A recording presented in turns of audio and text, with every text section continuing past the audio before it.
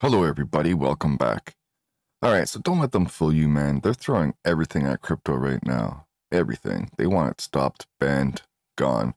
But the adoption is there, right? We got the NASDAQ aiming to debut crypto custody service by Q2. Like, how damn good is that? The NASDAQ, custodial service of cryptocurrencies. This is pretty big, right?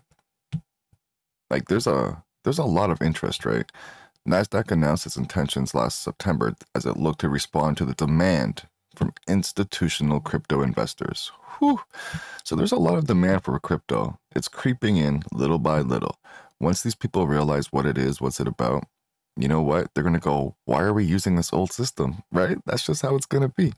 And Arbitrum, whew, Arbitrum's native ARB token saw more than 2 billion in trading volume in the last in the first 24 hours since going live data shows. Like that's a lot, right? That's a lot of interest there. Um so what can you do with this ARB token right now? They're just it's right now it's the ARB token serves as a means of governance for the protocol. Holders of ARB can participate in decision-making processes such as proposing and voting on protocol upgrades or changes. So there you go. Um, among crypto exchanges, BitGet and Huobi led volumes with over 250 million. Uh, decentralized exchange Uniswap, which relies on smart contracts to match trades between users, saw over 227 million in trading volumes. Mm, damn. So ARB, you know, it's pretty volatile right now. Be careful with it. It's going to be going up and down for a while until it finds its groove. But we'll see how it goes, right? All right, on to the next thing. El Salvador President Bukele to introduce a bill that would eliminate taxes on technology innovations. Like, this is leaders that we need, right? The country in 2021 became the first nation to adopt Bitcoin as legal tender. Yes, they're all out crypto. This is amazing. Next week, I'll be sending a bill to Congress to eliminate all tax, income, property, capital gains, and import tariffs on technology innovations such as software programming, coding, apps, and AI development, as well as computing and communications hardware manufacturing.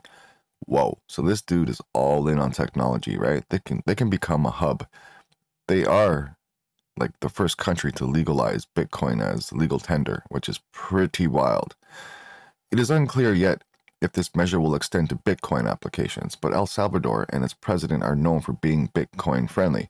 In 2021, becoming the first nation to make the crypto legal tender, the country's legislature earlier in 2023 passed a law paving the way for a Bitcoin backed bond. Wow.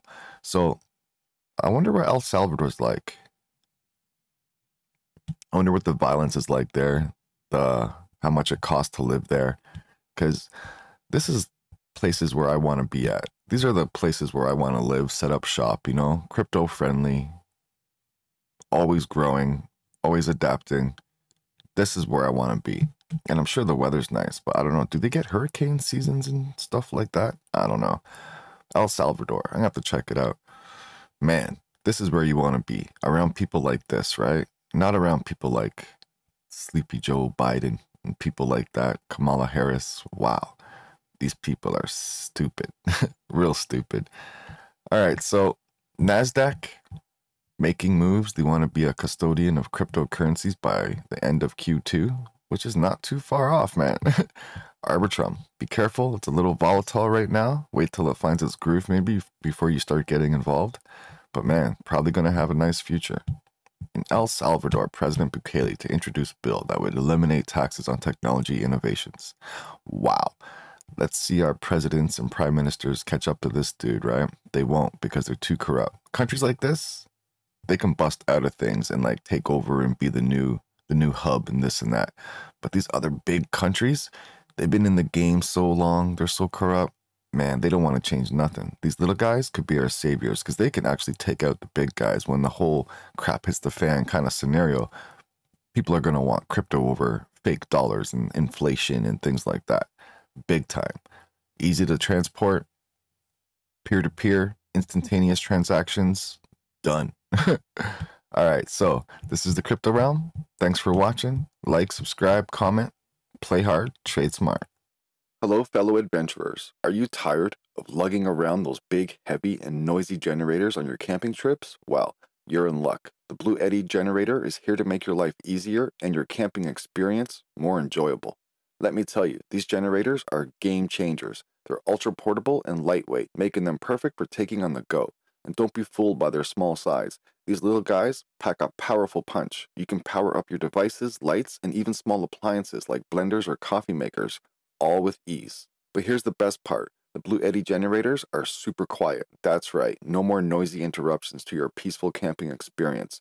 You can power up your gadgets without disturbing the peace and quiet of the great outdoors. And the utility of these generators doesn't stop there. They're also great for emergency backup power during power outages or natural disasters. Keep your lights on and your devices charged no matter what life throws your way. So why settle for those clunky, noisy, and heavy generators when you can have a portable and powerful solution that makes your camping life easy? In our pinned comments, you will find a link to Bluetti. Check them out today.